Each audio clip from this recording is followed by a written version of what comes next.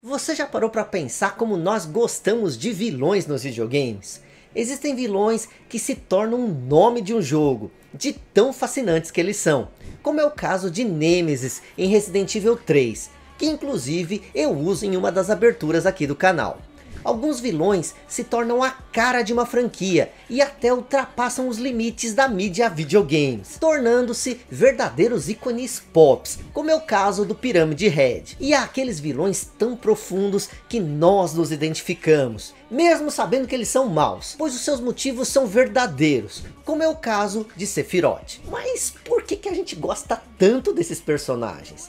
No vídeo de hoje, quero analisar historicamente com você os motivos desses personagens serem tão adorados. Vamos explorar alguns dos vilões mais marcantes da história dos videogames, como Nemesis, Pyramid Head, Sephiroth, M-Bison, Shao Kahn e muito mais. Então vamos começar que tem muita coisa para se falar.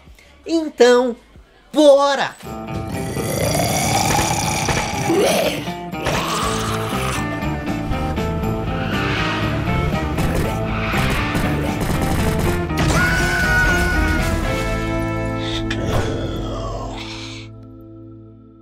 Começar precisamos definir o que é um vilão nos videogames. Vilão é aquele personagem ou criatura que está ali só para atrapalhar a vida dos mocinhos. Eles são os caras maus, com planos malignos e um jeitão que nos faz torcer para que o herói dê uma surra neles. Geralmente eles têm motivações egoístas ou simplesmente querem dominar o mundo. Eles são os principais desafios que enfrentamos nos jogos e sempre é uma satisfação em derrotá-los depois de tanto suor e estratégia, não é mesmo? E não dá para esquecer do visual. Muitos vilões têm um design marcante, daqueles que reconhecemos de longe. Eles são parte essencial da história, criando momentos de tensão e emoção até o clímax da batalha final. Muitos vilões têm motivações bem complicadas e profundas, que os tornam mais do que apenas caras maus da história. Eles podem ter passado cheios de traumas, histórias de origem bem complicadas ou dilemas morais, que os fazem parecer mais humanos e interessantes. Alguns vilões são super carismáticos e têm um senso de humor negro, um estilo que faz a gente lembrar deles. Eles muitas vezes roubam a cena, com a sua presença imponente e suas atuações marcantes. Vilões também são as peças chaves na história, porque representam um grande desafio para os heróis. Eles testam os limites dos protagonistas e forçam a superar várias adversidades o que cria bastante tensão e drama na história. Alguns vilões representam a rebelião contra as autoridades, regras ou normas sociais, o que pode atrair espectadores que se identificam com a ideia e até desafiar o status quo. Vilões muitas vezes exploram temas proibidos ou tabus, como violência extrema, obsessão mórbida ou desejos reprimidos que fascinam e intrigam a galera. Alguns vilões têm até a chance de passar por jornadas de redenção ou transformação, o que pode adicionar uma camada emocional à história e criar uma expectativa sobre o destino deles. Pronto, agora dá para analisar por que, que a gente gosta tanto desses vilões. Sephiroth Final Fantasy VII. Sephiroth é um dos vilões mais famosos dos RPGs, conhecido por seu visual estiloso, sua espada e sua trilha sonora icônica, composta pelo mestre Nobuo Ematsu. Ele nasceu de uma experiência da corporação Shinra, onde colocaram células de uma identidade alienígena chamada Genova, em um embrião humano, criando assim um super soldado. Desde pequeno, Sephiroth se destacou como um guerreiro incrível e subiu rapidamente na hierarquia militar da Shinra, tornando-se uma lenda durante a guerra de Utai. Mas tudo mudou quando ele foi para Nibelheim e descobriu a verdade sobre suas origens. Ele literalmente surtou, achando que era descendente de Genova e que tinha que dominar o mundo. Sephiroth tocou terror em Nibelheim, incendiando a cidade e matando vários habitantes, incluindo a mãe da musa Tifa Lockhart. Cloud Strife o personagem principal de Final Fantasy VII, ainda um soldado novato, conseguiu ferir Sephiroth e jogá-lo no reator Mako. Mas ele sobreviveu e passou a combater as células de Genova, manipulando eventos de longe. No jogo, Sephiroth quer invocar uma magia chamada Meteor, para criar um cataclismo e absorver a energia do planeta, tornando-se um deus. Ele mexe com a cabeça de Claude e cria vários clones de si mesmo, para causar caos e destruição. O jogo culmina em uma batalha épica entre Claude e Sephiroth, no núcleo do planeta. Claude vence, mas o impacto de Sephiroth e suas ações continua a ressoar na história de Final Fantasy VII. Sephiroth é literalmente amados pelos fãs de Final Fantasy VII, por sua presença imponente e carismática suas motivações complexas e uma história de origem envolvente que revela camadas de sua personalidade. Ele é retratado como um guerreiro poderoso, habilidoso com a espada e com habilidades sobrenaturais,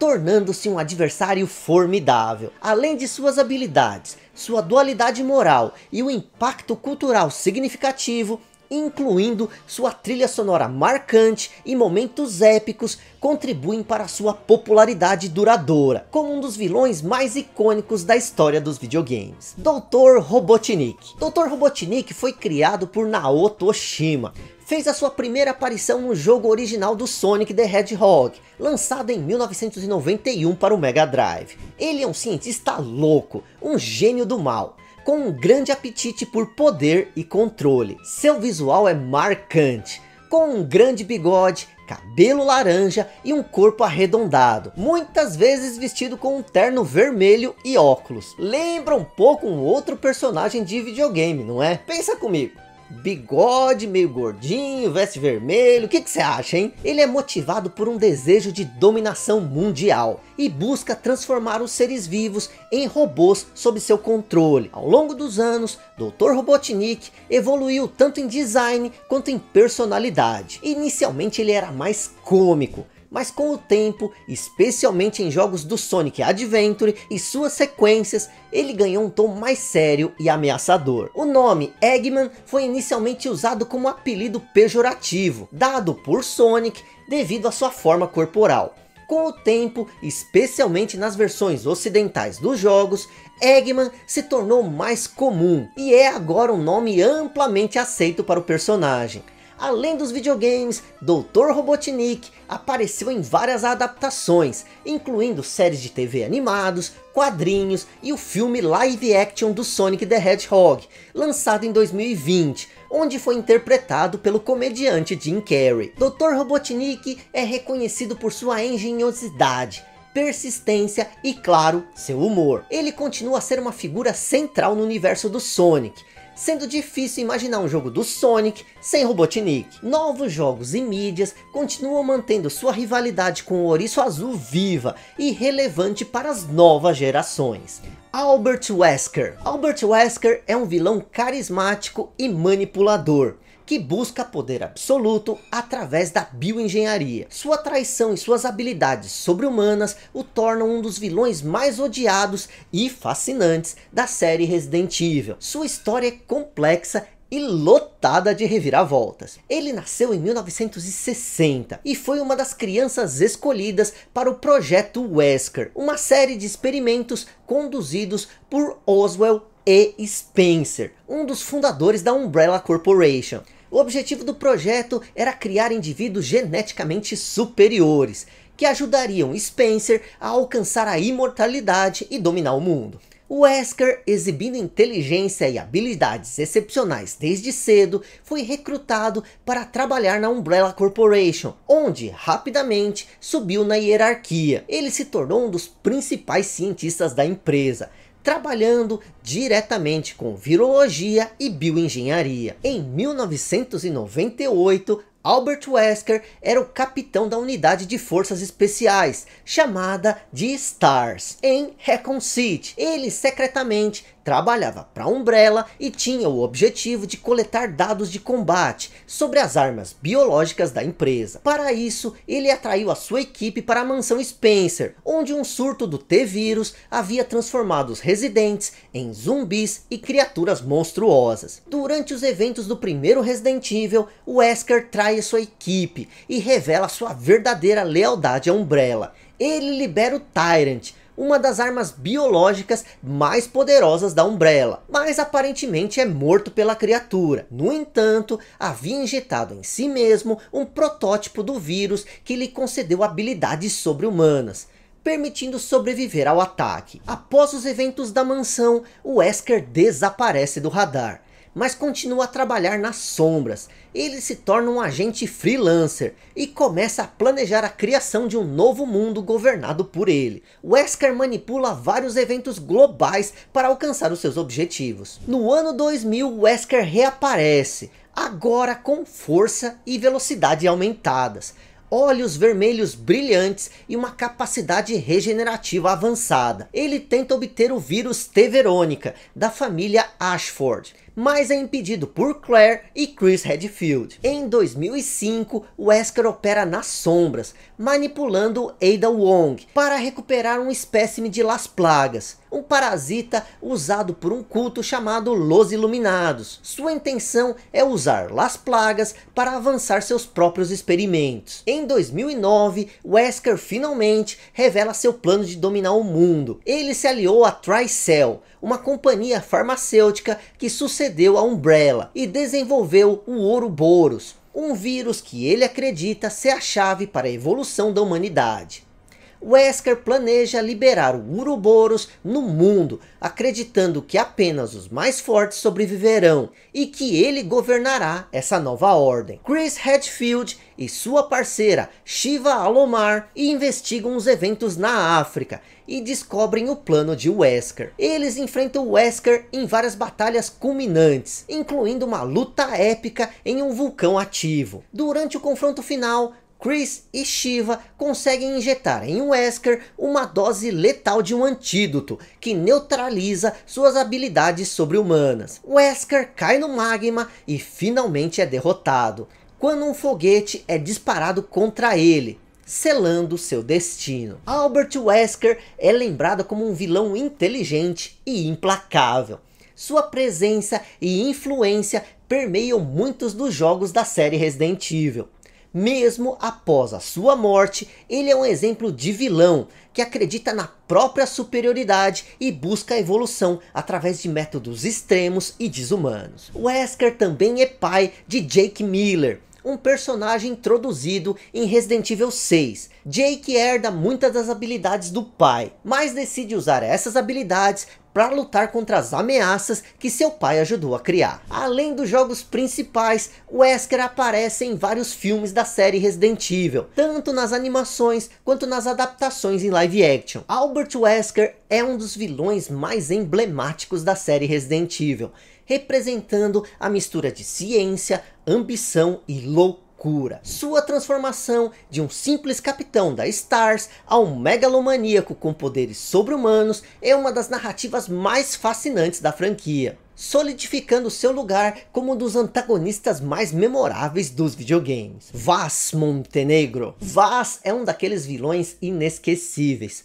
por causa da sua loucura e seus monólogos perturbadores. Sua imprevisibilidade e presença ameaçadora tornam suas aparições no jogo intensas e inesquecíveis. Vaz Montenegro é o vilão mais lembrado da série Far Cry. Sua personalidade imprevisível e violenta o tornou um antagonista notável. Vaz Montenegro nasceu nas Ilhas Rook, um arquipélago fictício no Pacífico. Ele cresceu numa família disfuncional onde foi exposto a um ambiente hostil desde cedo. Vaz tem uma irmã mais nova, Citra Talugmai, que eventualmente se tornou líder do clã Hakiat, uma tribo indígena das Ilhas Rook. Embora Vaz e Citra compartilhassem um vínculo forte na infância, suas vidas tomaram rumos drasticamente diferentes. Ele caiu em um caminho de crime e vício, o que o levou a ser manipulado por Hoyt Volker, um traficante de drogas e senhor da guerra, que controlava as Ilhas Rook. Royt viu potencial em Vaz e o transformou em seu braço direito,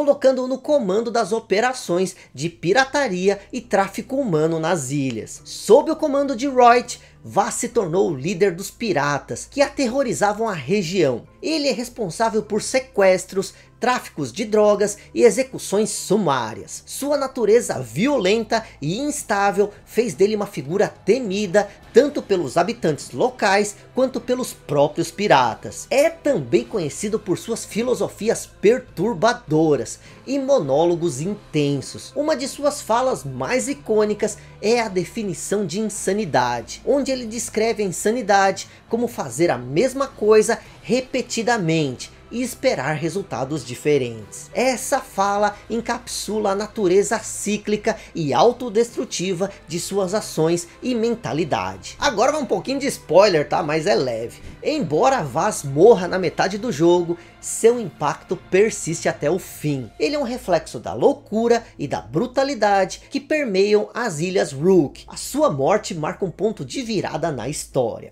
Vaz Montenegro é lembrado como um dos vilões mais complexos da história dos videogames. Sua imprevisibilidade, combinada com a performance magistral do ator Michael Mando, que deu voz e movimentos ao personagem, fez dele uma figura icônica. Mando incorporou tanto a voz quanto os movimentos de Vaz, trazendo uma autenticidade assustadora ao personagem. Além de Far Cry 3, Vaz aparece em Far Cry 6, como parte de uma DLC intitulada Vaz Insanity, onde os jogadores exploram a mente de Vaz em uma experiência roguelike. Este conteúdo adicional permite uma visão mais profunda dos pensamentos e motivações de Vaz, explorando suas lutas internas e sua relação com a loucura. Vaz é um dos vilões mais memoráveis dos videogames, não apenas por suas ações brutais, mas também por sua complexidade psicológica e profundidade como personagem.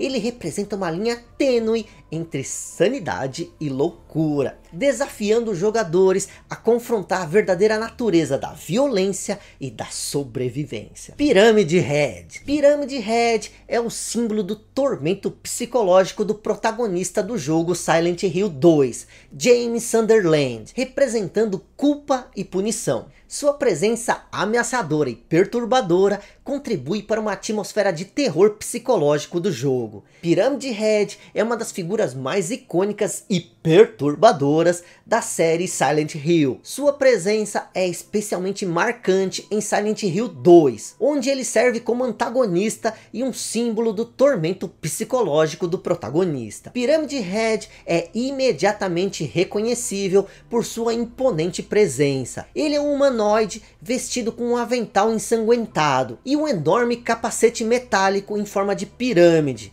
que cobre completamente a sua cabeça. Ele carrega uma grande faca e seus movimentos são lentos e deliberados, mas poderosos. Pirâmide Head aparece várias vezes ao longo do jogo, muitas vezes em situações onde ele persegue ou atormenta James. Seu primeiro encontro acontece nos apartamentos Woodside, onde James testemunha Pirâmide Head abusando de duas criaturas, simbolizando o desejo reprimido e a culpa de James. Esta cena é emblemática da natureza simbólica de Pirâmide Head. Ele não é apenas um monstro físico, mas também uma manifestação de traumas e sentimentos reprimidos. Ele é a representação de James se castigando por suas ações passadas, especialmente relacionadas à morte de sua esposa Mary. Pirâmide Red é implacável, aparecendo repentinamente para confrontar James, como um lembrete constante de sua culpa. O design do capacete de pirâmide pode ser interpretada de várias maneiras. Alguns sugerem que ele representa alguma forma de autocastigo. O fato de Pirâmide Red nunca mostrar seu rosto também adiciona um elemento de mistério e terror, deixando sua verdadeira natureza ambígua. No clímax de Silent Hill 2,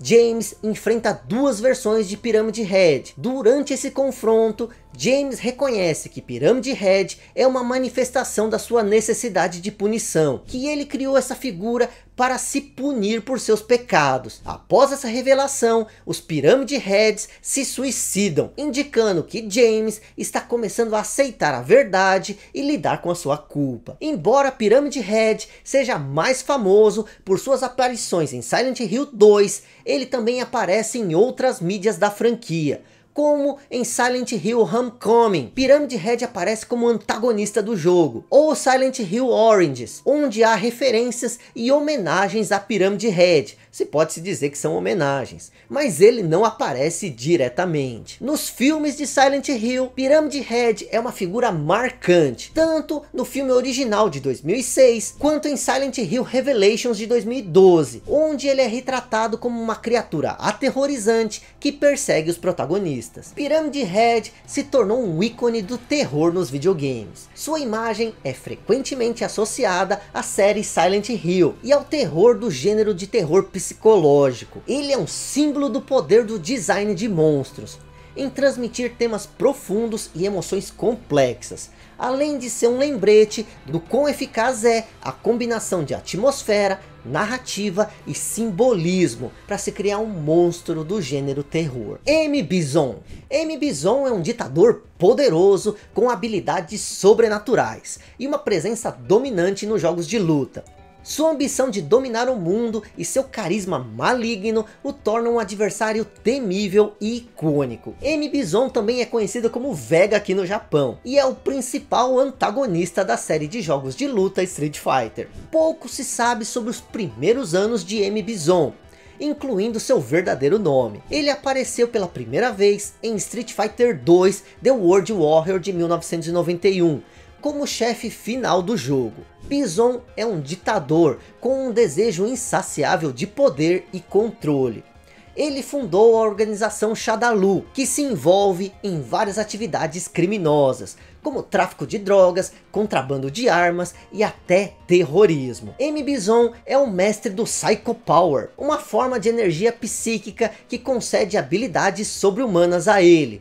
Esse poder é a fonte de sua força, velocidade e resistência excepcionais. Bison usa o Psycho Power para dominar seus oponentes, e é conhecido por seus ataques icônicos, como Psycho Crusher, onde ele se envolve em uma aura de energia roxa e voa contra seus inimigos. Em Street Fighter Alpha, Warrior's Dreams, de 1995, e suas sequências, a história de Bison é expandida, esses jogos mostram eventos anteriores a Street Fighter 2. Durante esse período, Bison busca aprimorar o Psycho Power e aumentar o seu domínio global. Ele também começa a sequestrar lutadores talentosos para usá-los como cobaias em seus experimentos. Uma figura importante durante esse tempo é Rose, uma lutadora que possui o Soul Power, uma energia oposta ao Psycho Power do Bison. Rose tenta derrotar Bison, mas ele consegue sobreviver e continua seus planos de dominação. No torneio Street Fighter 2, Bison organiza o evento, com o objetivo de atrair os melhores lutadores do mundo e derrotá-los. Entre os participantes está Chun-Li, uma agente da Interpol que busca vingar a morte de seu pai, assassinado por Bison. Outro participante notável é Guile, o major da Força Aérea dos Estados Unidos, que, que, quer vingar a morte do seu amigo Charlie, que também foi morto por Bison. Em Street Fighter 4 de 2008, Bison continua a ser uma força dominante. A história revela que ele transferiu sua consciência para novos corpos, para evitar a sua morte. Ele continua a usar a Shadalu para realizar seus planos malignos, e a sua presença no torneio é sentida através de seus agentes e experimentos biológicos, como Seth, o chefe final do jogo. Em Street Fighter V de 2016, Bison e a Shadalu continuam a ser uma ameaça significativa. Ele se envolve em novos planos para dominar o mundo, usando uma série de satélites, chamado Black Moons, que podem causar destruição em massa.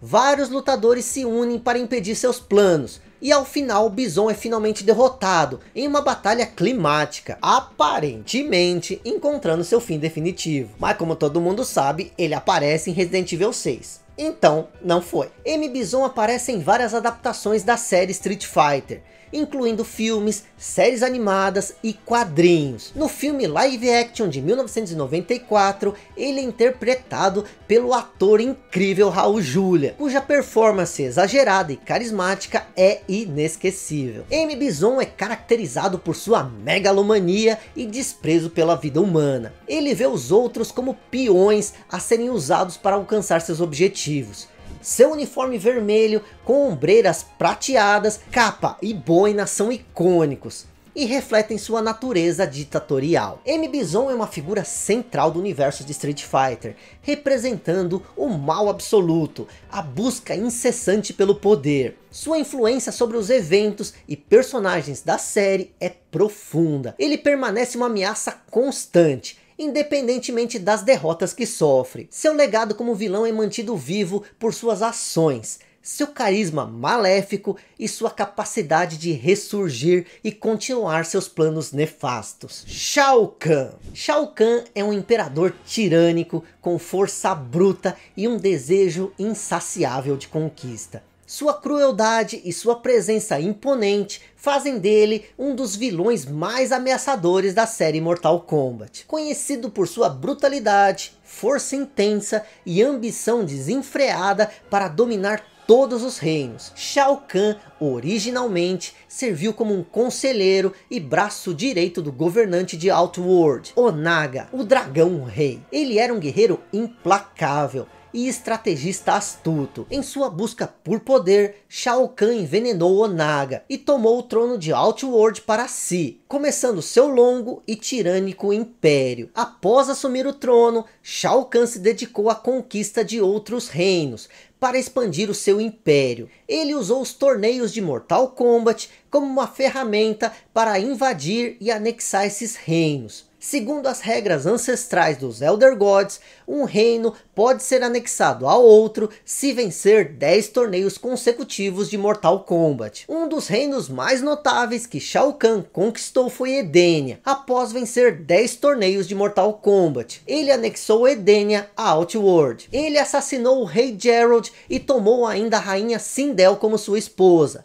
No entanto, Sindel se suicidou em desespero, mas Shao Kahn usou necromancia para ressuscitá-la e colocou-a sob seu controle. A filha dela, Kitana, foi criada por Shao Kahn como sua própria filha, embora eventualmente ela se rebelasse contra ele. Shao Kahn dirigiu sua atenção então para Earthrealm, como é chamada a Terra nesse universo. O feiticeiro Shang Tsung organizou os torneios de Mortal Kombat para tentar conquistar Earthrealm para Shao Kahn, Apesar de várias tentativas e vitórias iniciais, os defensores da Terra, liderados pelo Deus do Trovão, Raiden, conseguiram impedir a conquista. No jogo Mortal Kombat 3, Shao Kahn concebeu um plano para ressuscitar Sindel em Earthrealm, o que permitiu a ele quebrar as barreiras entre os reinos, e iniciar uma invasão direta. Ele quase teve sucesso em fundir a Terra com Outworld, mas os guerreiros protetores da Terra mais uma vez frustraram seus planos. Mesmo após essas derrotas, Shao Kahn sempre encontrou maneiras de retornar.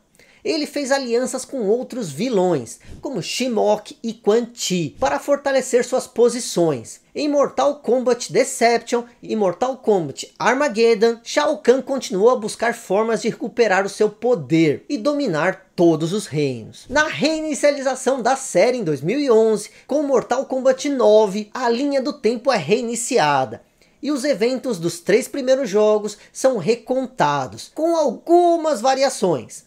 Shao Kahn desempenha um papel central na história, tentando novamente conquistar Earthrealm. No final do jogo, Raiden faz um pacto desesperado com os Elder Gods, que concedem a ele o poder de derrotar Shao Kahn, resultando na sua morte. Em Mortal Kombat 11, Shao Kahn retorna, devido à manipulação temporal da deusa do tempo Crônica. Ele é trazido de volta ao lado de outros vilões, para lutar por Crônica em sua tentativa de reiniciar o tempo. Shao Kahn enfrenta Kotal Kahn, o atual imperador de Outworld, reivindicando seu trono, mas é derrotado por Liu Kang e seus aliados. Shao Kahn apareceu em várias outras mídias na franquia Mortal Kombat, incluindo séries de TV, filmes e quadrinhos. Nos filmes de Mortal Kombat de 1995 e Mortal Kombat Annihilation de 1997, ele é o principal antagonista. A representação de Shao Kahn nesses filmes varia um pouquinho, mas ele é consistentemente retratado como um tirano implacável. Shao Kahn se tornou uma figura central do universo de Mortal Kombat, representando o mal absoluto e a luta incessante pelo domínio de todos os reinos.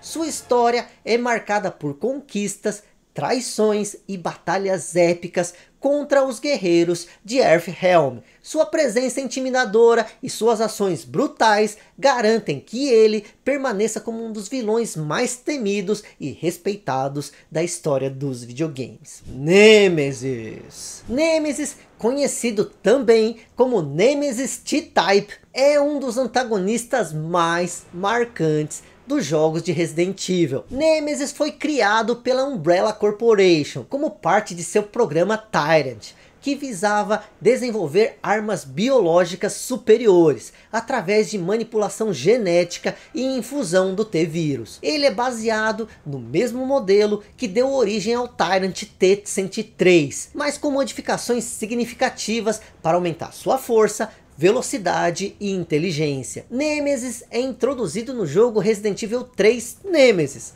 lançado originalmente em 1999, que se passa paralelamente aos eventos de Resident Evil 2. Ele é enviado pela Umbrella para eliminar as testemunhas dos incidentes em Recon City, onde o T-Vírus se espalhou e transformou a população em zumbis e outras criaturas horríveis. Nemesis é uma criação assustadora, de aspecto humanoide, com características grotescas, e uma enorme quantidade de tentáculos e apêndices bioorgânicos que emergem de seu corpo. Ele possui uma inteligência significativamente maior que os outros Tyrants, sendo capaz de usar armas como um lançador de foguetes, e até mesmo perseguições estratégicas de seus alvos. Uma das características mais marcantes de Nemesis em Resident Evil 3 é a sua perseguição implacável à protagonista, a musa Jill Valentine. Ao contrário de outros inimigos da série, Nemesis é capaz de perseguir Jill através de múltiplos locais no jogo, aparecendo inesperadamente em momentos chaves para tentar eliminá-la. Essa mecânica cria uma tensão constante e um senso de urgência durante toda a experiência do jogo. Ao longo do game é revelado que Nemesis possui uma capacidade limitada de reconhecer e eliminar ex-membros da Umbrella, que se tornaram testemunhas incômodas, digamos assim. Sua principal missão é eliminar todos os membros restantes do grupo Stars, do qual Jill faz parte. Como parte de sua programação para destruir qualquer vestígio da existência da Umbrella. Jill enfrenta Nemesis várias vezes ao longo do jogo, em batalhas intensas, onde ela precisa usar inteligência e habilidade para sobreviver. No confronto final, Jill consegue derrotar Nemesis, causando uma explosão que parece destruí-lo. Esse desfecho, inicialmente, parece finalizar a ameaça de Nemesis. Nemesis retornou em várias formas e adaptações na série Resident Evil, incluindo remakes, sequências e spin-offs cada aparição expandiu a sua história e características, mantendo sua posição como uma das ameaças mais temíveis e memoráveis do universo de Resident Evil. Nemesis é um exemplo notável de como um vilão bem projetado pode elevar a experiência de um jogo, através de sua presença ameaçadora, desafios intensos e impactos duradouros na narrativa e na jogabilidade. Sua história continua a ser explorada e adaptada, garantindo que ele permaneça como uma figura icônica na cultura dos videogames. A profundidade psicológica de Sephiroth e Pyramid Head, passando pela insanidade de Vaz Montenegro, e a engenhosidade de Dr. Robotnik, até a brutalidade de Shao Kahn e o carisma maligno de M. Bison. Cada um deles deixa uma marca única na nossa memória gamer. Esses vilões são mais do que simples obstáculos. Eles são essenciais para a construção de narrativas envolventes, criando conflitos que testam os limites dos protagonistas e dos jogadores. Eles nos mostram que às vezes a escuridão pode ser tão fascinante quanto a luz. Mas vamos continuar esse vídeo aqui nos comentários. Me fala aí qual o seu vilão favorito dos videogames e por quê. Eu sou o Isui, obrigado a você que viu o vídeo até aqui e até mais.